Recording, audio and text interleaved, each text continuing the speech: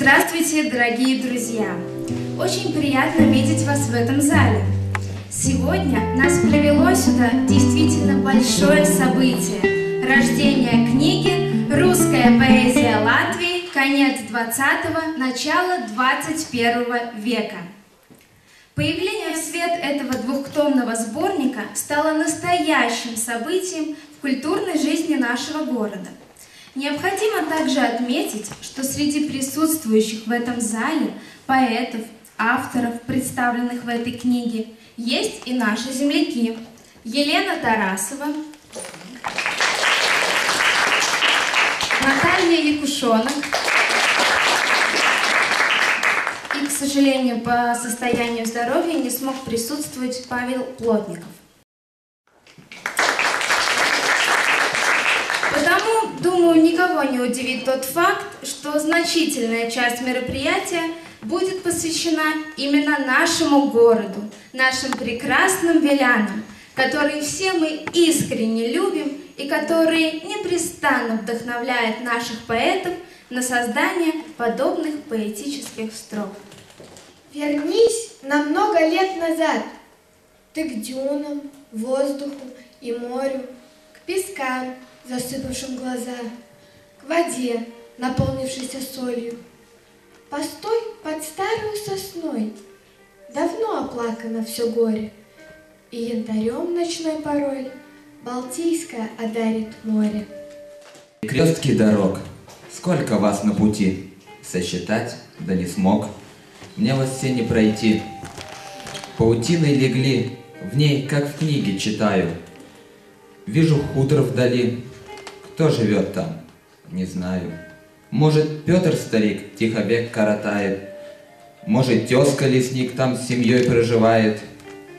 Дальше в дымке леса и просторы полей Манит запах меня в край берез, тополей.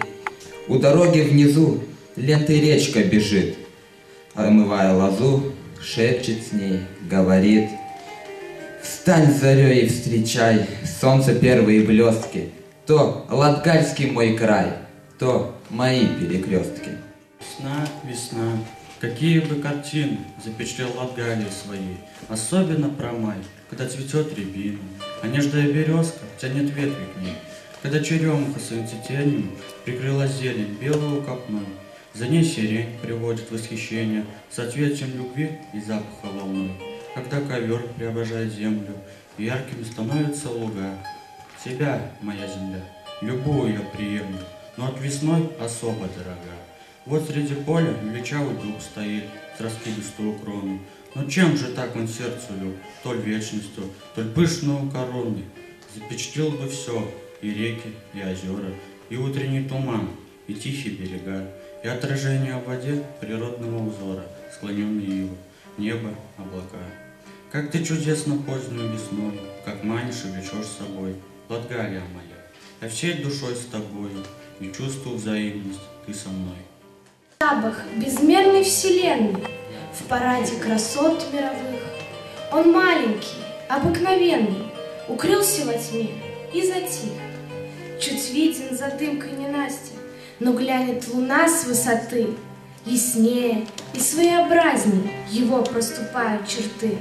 Мерцает двузубец костела, Вздыхают о чем-то сады, Петляет река в полудреме, В тумане скучают мосты. Черемухой всласть упоенный На острове смолк соловей, Там ищет приюта влюбленный, И тени скользят средь ветвей. Спит город, сияя призывно, покой нарушая святой.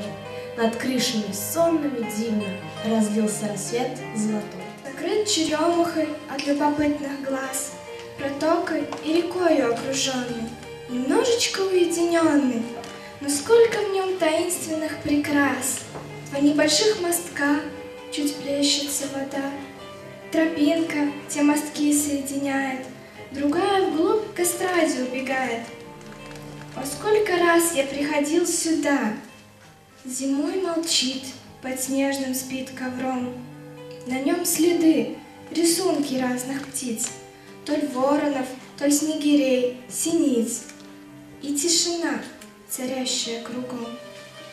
В конце же весны, под убранством зеленым, он приглашает слушать соловья. И начинается концертная пора, дарующая волшебство влюбленным. Не сорвать всех незабудок, перепутались тропинки, Незабудки всюду-всюду, глаз куда бы свой не кинул, Опрокинет небо краски, голубой на землю вдоволь, Мир становится прекрасным, без забвения и боли. Все мечты о незабудках, не срывая их напрасно. Жить настало время мудро, жить и помнить свою правду. Щебет птиц и ветра нет, и плавное реки течение, котором ивы отражения встречают утренний рассвет. Чуть дальше поворот, изгиб. Что там шумит за поворотом? То видно с птичьего полета, а я земли смотреть привык. Иду взглянуть за поворот, передо мной встает картина. Течение перешло в стремнину, вода о камни пеня сбьет. Не передать той страсти миг, когда к свободе рвутся волны, решимостью своей полны. Душою этот миг постиг. Под окном у дома в детстве рос шиповник, как наследство старой милой бабушки. Аромат цветов так душен, не ступите шагу. Лучше нам присесть на лавочку в ожидании обеда с другом лучшим и соседом отдохнем на парочку. Проследим пчелокружение, у нее ведь приземление не менее загадочно. Незатейливо наследство, куст шиповника, но детство так дразнит заманчиво. Здравствуй, облако немое, говорить с тобой нелепо, но тебе я все же открою тайну нынешнего лета. Стрелы солнца запускала, заправляла жаром смертным, скольких на земле не стало, трав, лесов, число несметно. И ходили тучи злые, надвигались на светило. Только уводиться силы было мало, не хватило. Жар сильнее, чем водиться, Слышишь, облако немое, В миг на небе растворится, Ничего тебе не стоит. Шумят по пустевшему бару, Бродит усталая осень. Лединки, их треск под ногой поутру, Бесповоротная осень. Грезы о в букет соберу И подарю тебе, осень, Две колеи от колес на снегу. Поздно, но в памяти я берегу осень. Дыхание мое, как стон, и скоро я совсем отвыкну От золоченных солнцем крон лесов, парящих в синей От устланных листов нахлёст дорог, дорожек, бездорожья. Ступая шагом осторожным, зима не перекинет мост, И от охапки свежих дров печи огонь зажжется чудный. Скучать я буду в тайных думах, Вдруг вспыхнет золото корон. Когда бежишь от суеты, мечты рождаются иные, Цветные замки и мосты, мороза сети кружевные, Сугробов призрачные сны, Опущенные крылья елей, Алмазных веток ожерелья Над царством снежной тишины. К тебе январь сквозь звездопад Зверьком пушистым подкрадется, И Рождества старинный лад душой твоей не разменется. В темноте за окном шаги Глухие, тихие. На сугробах следов штрихи Пришли стихи Тех шагов многозвучье душе Уловить, хранить Мимолетных стихов уже не забыть Им быть Вот это налить! Тяжесть груза березкам стройным не сдержать еще юны, где силы взять? И гнет их ледяная муза. Все это дождь под ветропение. Ветвей коснется, сразу в лед. И давит, давит небосвод, Их тонкий ствол, без сожаления, Согнулись, и самой земли касаются, не разогнуться, назад верхушкам не вернуться они. Печальность обрели, картина грусти. Власть природы так необуздана порой, Уклад ломает и покой, Неся мне в душу непогоду. Томлюсь неверным воскресеньем, неверб рву. Таким же самым воскресеньем и я умру. Плетутся с кладбищ вереницы семь дней поста. Мне безразличны дни и лица, душа пуста. Я помню, старый добрый друг, Всегда твой день рождения. Весна, прозрачен небо круг, Ах, март, души смятение.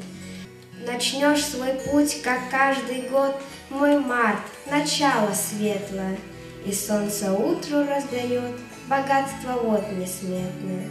Дорога круче впереди, Потратишь силы свежие, А встреч так много, погляди, Поют нам воды вешние. Три цвета вечера.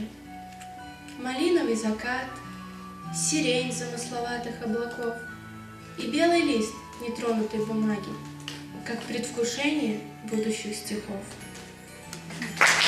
Стихи вилянских поэтов прозвучали в исполнении учеников Вилянской средней школы, членов Русского литературного клуба. На экране были представлены художественные фотографии Марины Дич, члена правления общества «Очаг». Поэтическое слово, как ручей, освежает и возвышает душу и позволяет увидеть жизнь не с обыденной стороны, а с высоты. Поэзия – это извечное стремление делиться своим светом с окружающим. Нельзя не согласиться с мнением Аноры де Бальзака, который писал, что в прозе мы остаемся на твердой земле, а в поэзии должны подниматься на самые неизмеримые высоты. А теперь разрешите вам представить гостей нашего праздника. Поэт, депутат Сайма Александр Якимов. И поэтесса Ольга Орс. Прежде всего хочу предоставить слово очень талантливому, неравнодушному человеку, без которого этот сборник не появился бы на свет. О том, как создавалась эта книга, какие цели преследовали ее авторы и составители, вам расскажет наш уважаемый гость Александр Якимов. Самое, что интересное, самое, на мой взгляд, даже знаменательное и в какой-то мере символичное, э, книга э, из типографии совсем, ну где-то примерно месяц, э, как я ее выбрал, и такое вот шествие, такой вот приход к зрителям, ее представление читателям, по сути дела, начинается с Вилян.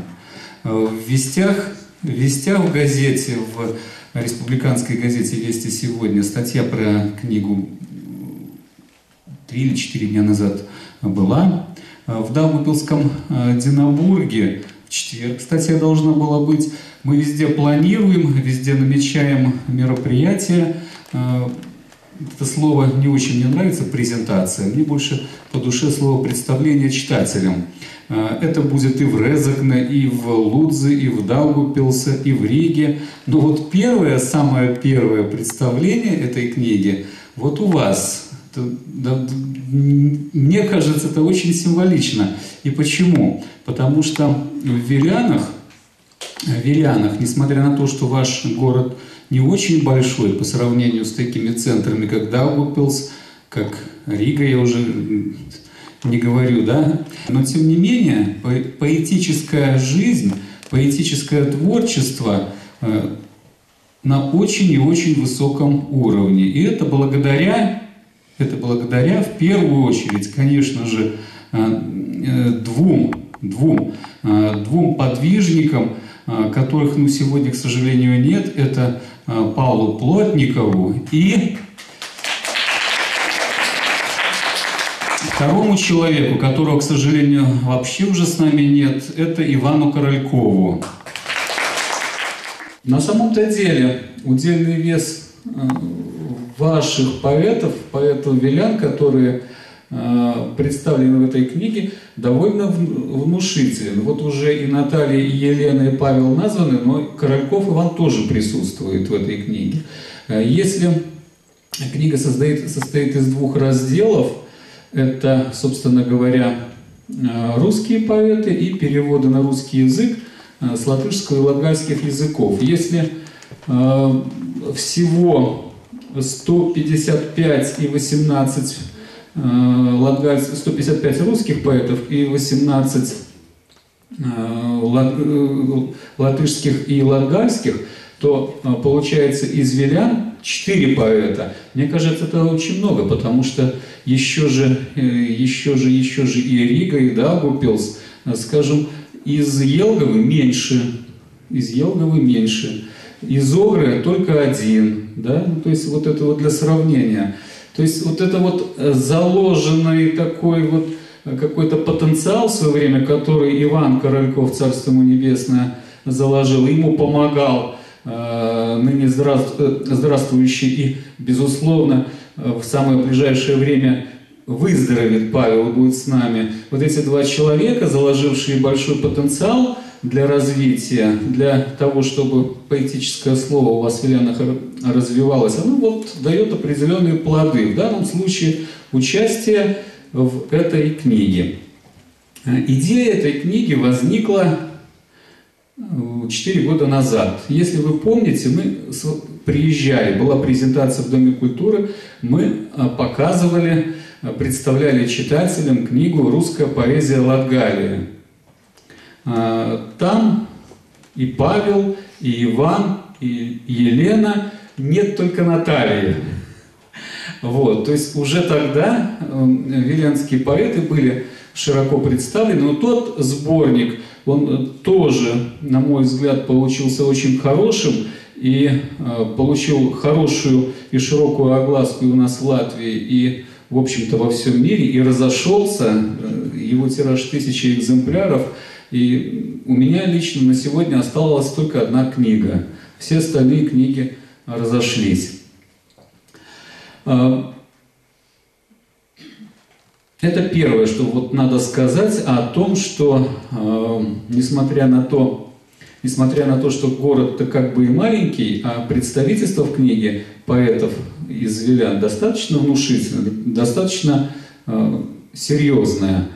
Э, книга строилась, э, ну, у нас, у нас в Латвии нет профессиональной критики.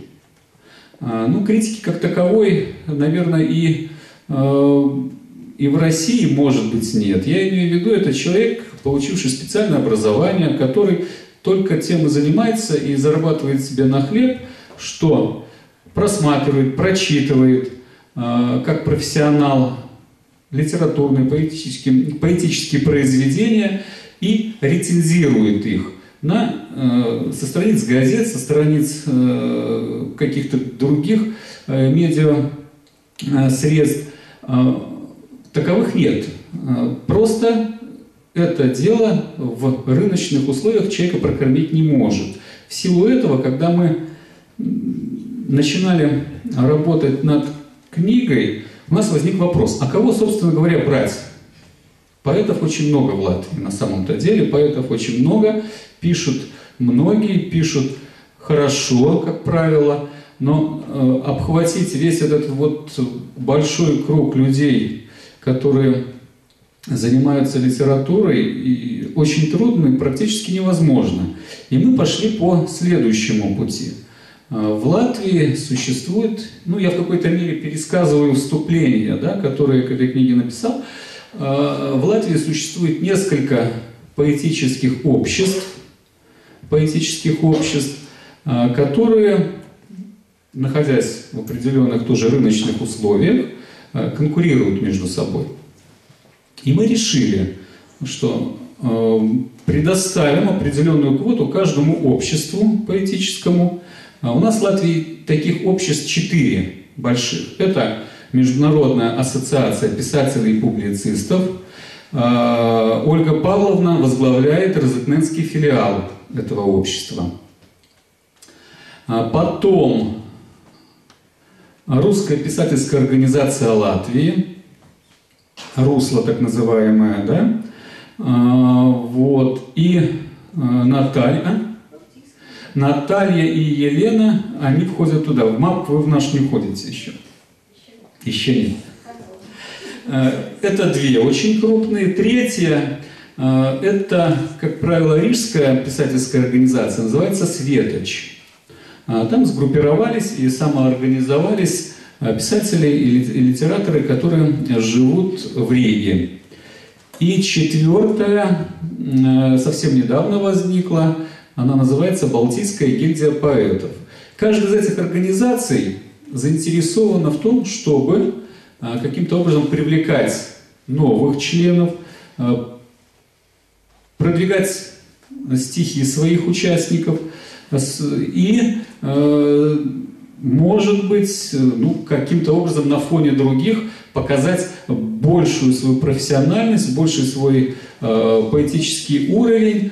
И мы подумали, что если мы каждому, каждому из этих обществ дадим определенную квоту участия, то, конечно же, они отберут самых лучших. Они отберут самых лучших. На наш взгляд, эта идея оказалась а, жизнеспособной. А, так оно и получилось, потому что из тех людей, которых нам рекомендовали в антологию, мы практически включили всех практически включили всех. А ряд участников антологии а, – это поэты, которые а, известны, известны всей Латвии, но а, не связывают себя участием, сотрудничеством с каким-либо из вот, перечисленных мной обществ, но учитывая отзывы, учитывая их долголетнее пребывания в русской поэзии э, Латвии, они тоже были включены. Ну, для примера я вам назову имя, знаете вы эту поэтессу, не знаете, Марьяш Рута Максовна. Вот слышали, не слышали, вряд ли слышали, да? Она в свое время э, была э, депутатом Верховного Совета Латвии, потом Сейма, не помню, правда, какого по порядку.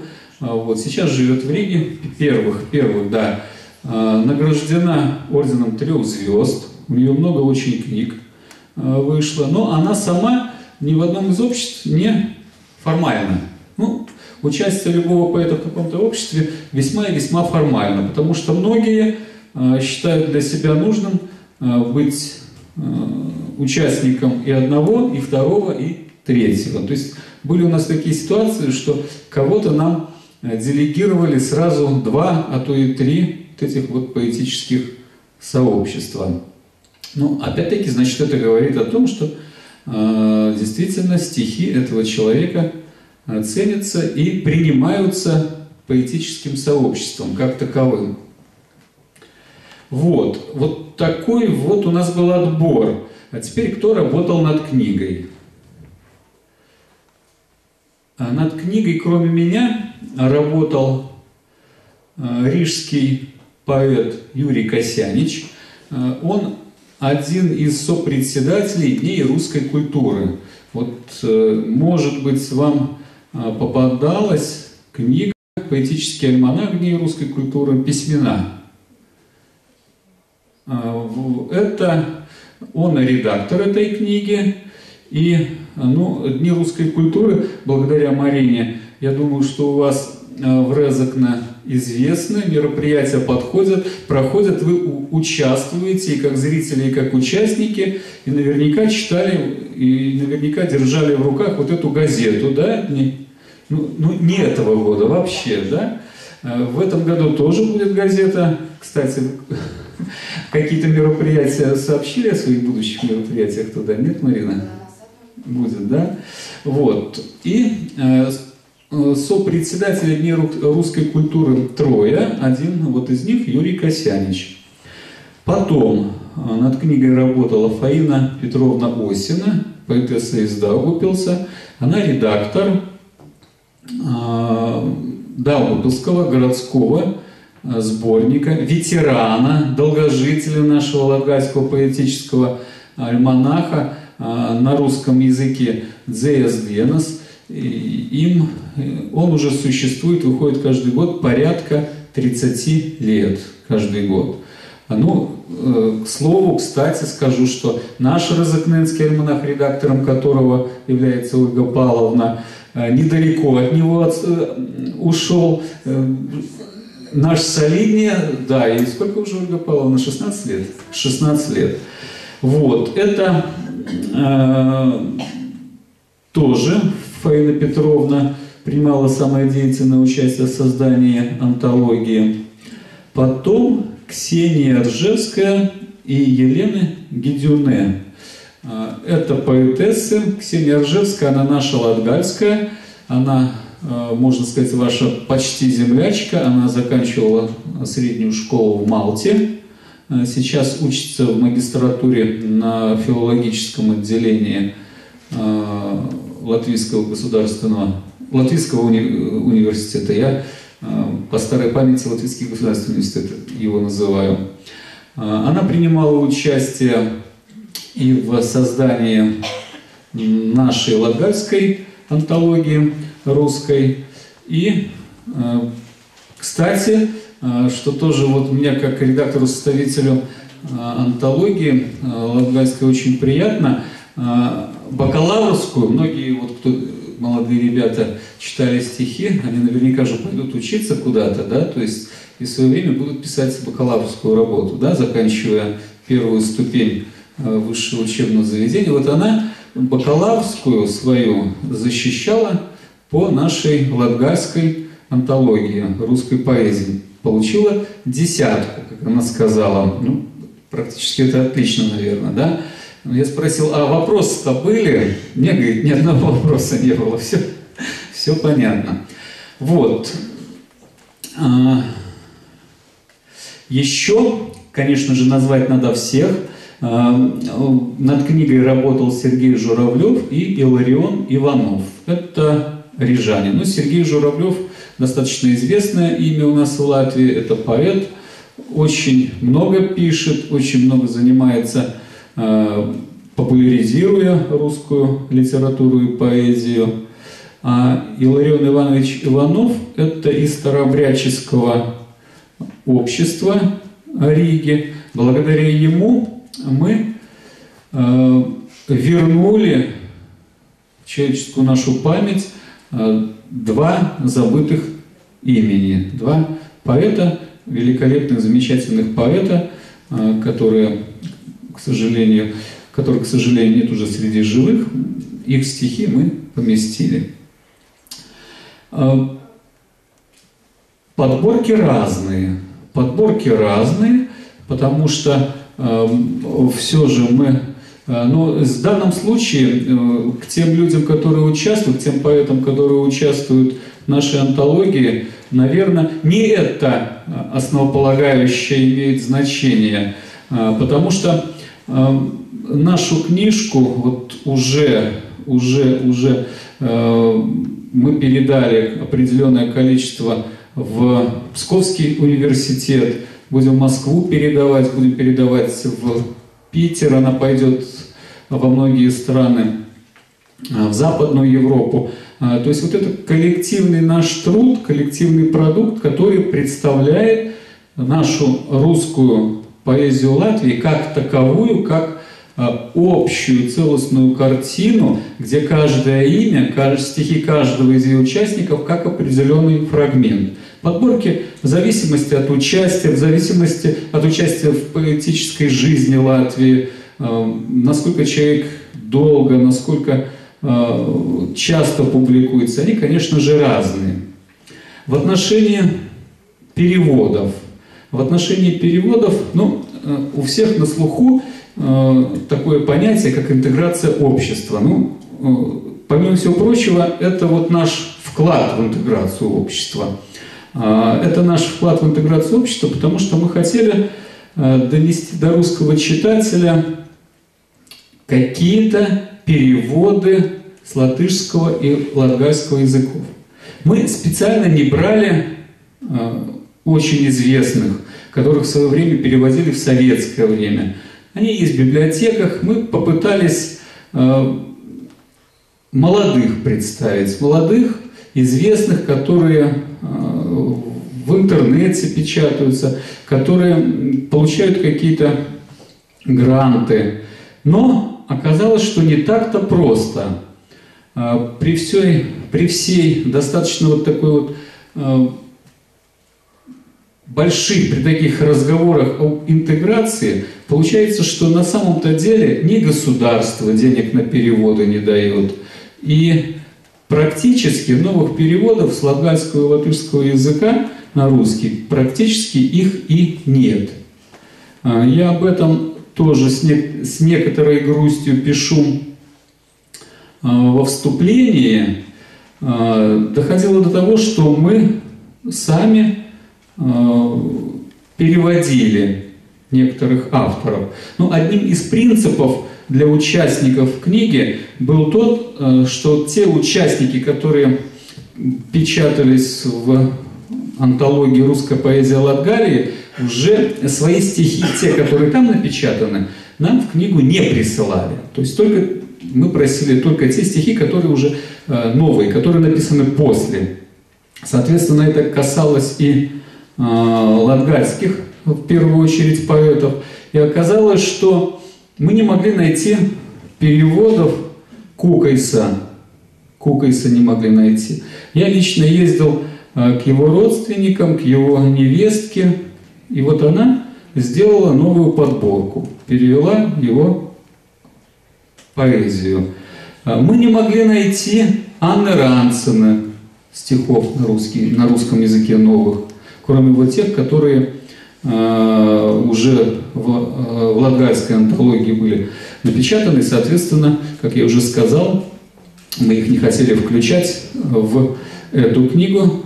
Э, точно так же еще целый ряд Дзервинекс, Дзервинекс – вот Ксения Ржевская сделала очень, на мой взгляд, большую работу. Она подготовила новую подборку Дзервиникса. Да?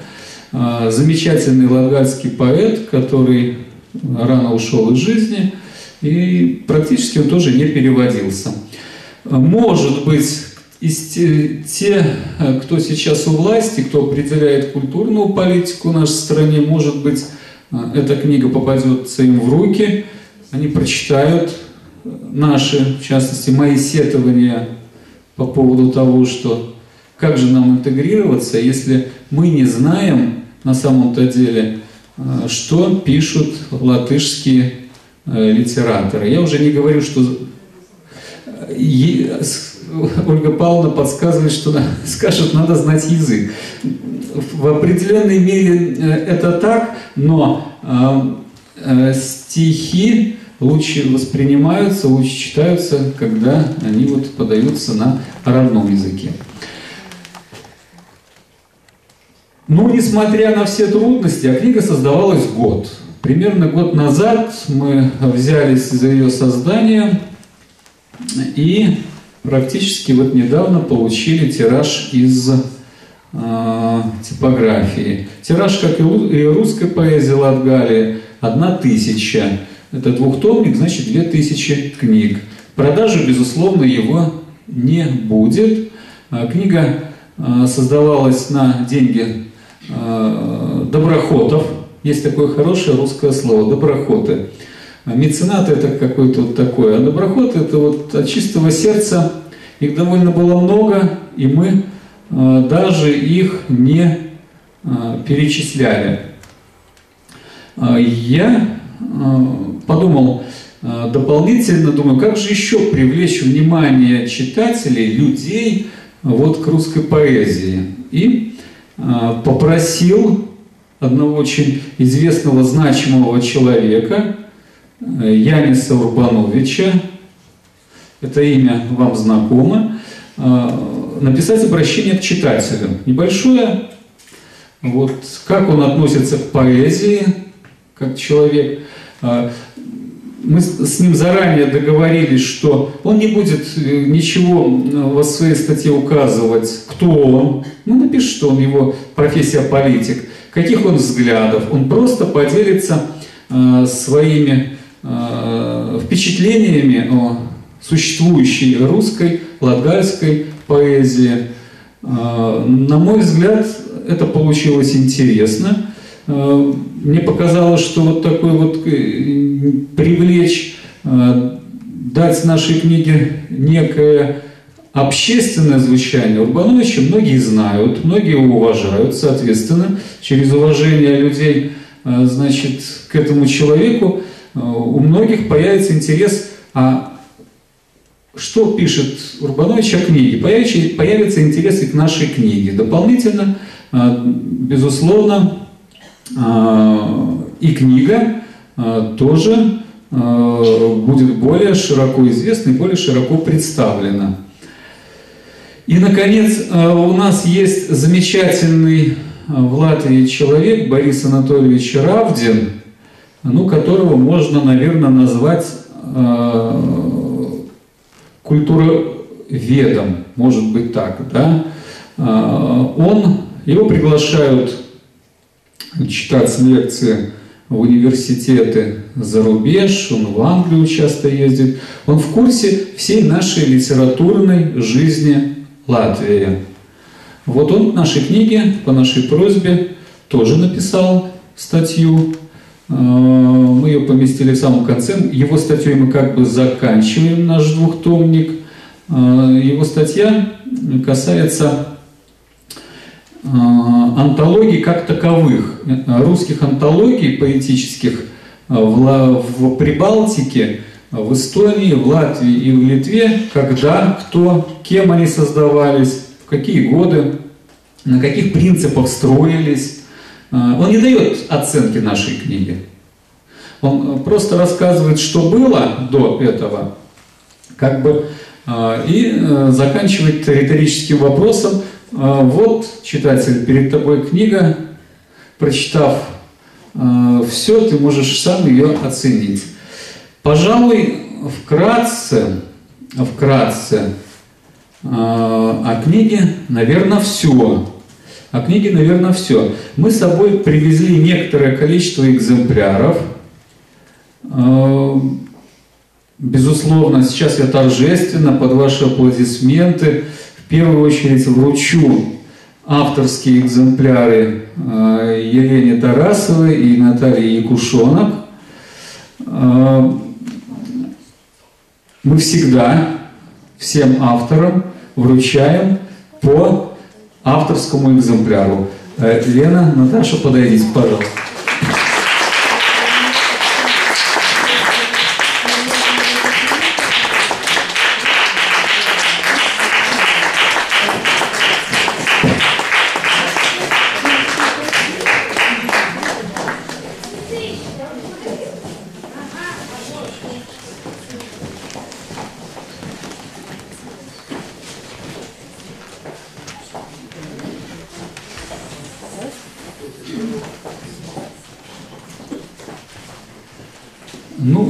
Вкратце я рассказал все.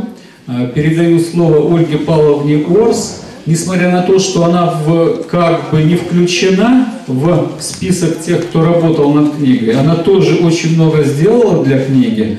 Ее, в общем-то, можно считать по праву тоже человеком, который над ней работал. Но она еще и, соответственно, конечно же, один из авторов этой книги.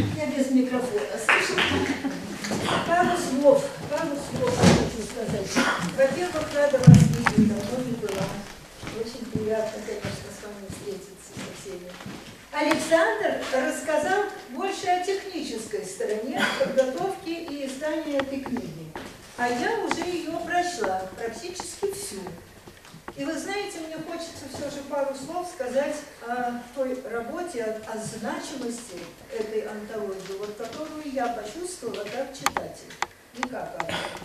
Ведь сделано и проделано, в принципе, огромная работа. Я занимаюсь поэзией давно, но я ничего подобного еще не видела, чтобы в Латвии кто-то вот сделал такую солидную, такую достойную, такую всеобъемлющую, всеохватывающую антологию, обзор русской литературы, русской поэзии, как получилось у Александра. И я очень просто, вы знаете, вот чувство такой и гордости, и какой-то солидности, я смеюсь Александру, просто вырос как-то даже во всех отношениях. Потому что ни Рига, ни Даугавпилс, ни кто-то еще за эту работу не взялись.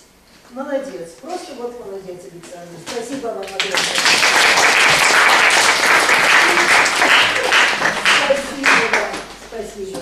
Но не было бы ни антологии, ни каких-то других сборников, каких-то подборов, если бы не было читателей и авторов. Я не говорю поэтов, о том, что мы поэты, может быть, скажут через много лет, что были вот поэты, но авторы – вот они должны быть. Я сегодня смотрю в глазки вот этим деткам. Вы молодцы, умнички. Я своих стихов всех не знаю, наизусть не прочту.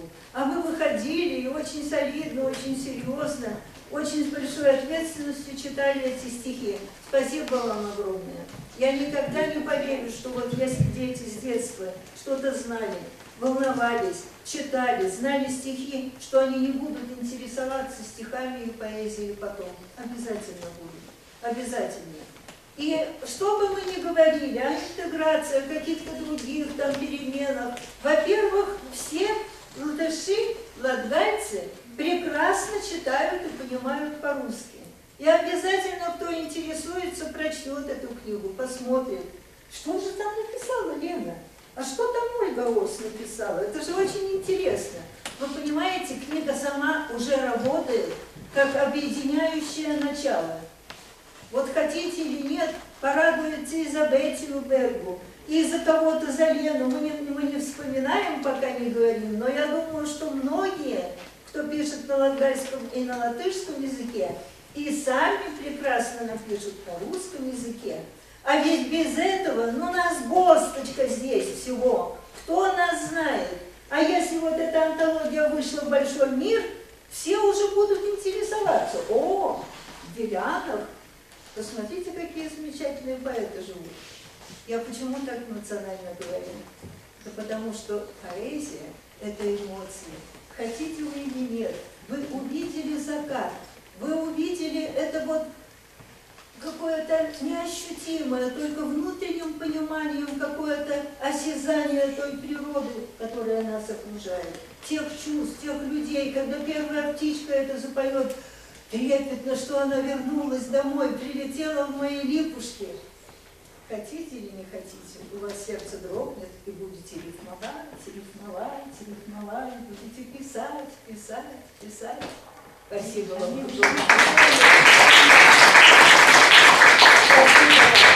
Спасибо, ой, мои хорошие. И еще, пользуясь вот тем, что я здесь, хочу все же сказать, как бы не было там трудно или тяжело у нас финансово или какие-то другие вопросы встают. И вы знаете, что я вышла на пенсию, что сейчас я э, не работаю в краевой думе, а это уже намного сложнее заниматься альманахом. И тем не менее приглашаю вас в 17-й альманах, потому что наши традиции увидят эту, эту антологию, скажем, где-то в России, скажут, ничего себе Латвия, ничего себе, все говорим, там, значит, и денег нет, и средств нет, а издает и готовит такую прекрасную антологию. Про наш альманах, вот можно показать, все удивляются, да, вот солидная книга, красивая, и многие в Москве, там, скажем, в Ленинграде, ну, в Санкт-Петербурге говорят, у нас в областных городах таких не, не издают сборников, таких альманахов. Тем более, когда авторы здесь участвуют бесплатно, не нужно, не нужно платить за участие в альманахе. Поэтому, пожалуйста, присылайте свои работы до конца мая, буду с удовольствием ждать. И еще, есть прекрасный сайт в интернете стихи.ру. И вы знаете, он очень полезен для тех, кто пишет. Очень. Потому что мир другой, уровень другой. Вы встречаетесь там и с Евгением Евтушенко, и с Кедровым Челищевым, и с кем только там вы не встречаетесь. И растете, уровень поднимается вашего развития. И вдруг недавно я читаю, Оленька Вилянская. Есть у вас такой человек? А? Оленька Вилянская, молодая, симпатичная девушка. Я даже открыла эту страничку, посмотрела. Правда, еще ничего не прочитала, но думаю про себя, а почему это вы мне до сих пор ее не показали? Спасибо вам. Спасибо еще раз. Когда не пишется, молчу. Смотрю в окно, что день грядущий, А там гуляет ветер злющий, Треплет все, что по плечу. Не по плечу ему, увы, весьма громоздкие предметы. Собаки, кошки и поэты. Шумит себе среди листвы. А если пуще разозлиться, Всем перечисленным тогда не поздоровится. Умчит нас, куда не ходят поезда, И полетим с металлоломом. Себя в обиду я не дам, я улизну в дыру под домом, как полагается котам. Ну вот опять, опять о мрачном. Но никого не огорчу, когда все кажется невзрачным, когда не пишется, молчу. Распоясалась береза, ветви ходят ходуном, Затянула песню слезы, ствол трещит под каблуком. Но зритель валит валом посудачить о былом. Видно, счастья не хватало. Правы все мы здесь в одном, Так назойлив нынче ветер, Что устала вся листва. Он ее не смог согреть ведь, Душу рвет не он, молва. Спасибо. Такое стихотворение по поводу того, что постоянно идут споры. Вот современная поэзия, современная поэзия, какой она должна быть, ищут какие-то варианты, ищут различные, ну я даже не знаю как, я иногда это называю выдумки такие, какие-то непонятные вещи, а я старомодно придерживаюсь классики. И вот по этому поводу такое стихотворение. Я старомодна, старомодна, в хорошем смысле, как учила мать, сама Вселенная.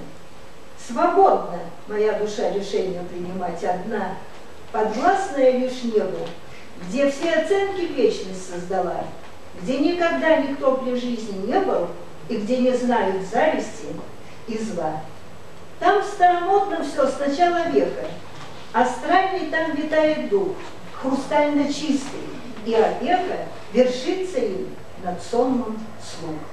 Там ангелы все в белых тогах, как миллионы лет назад, о жизни призрачных итогах несовременно говорят.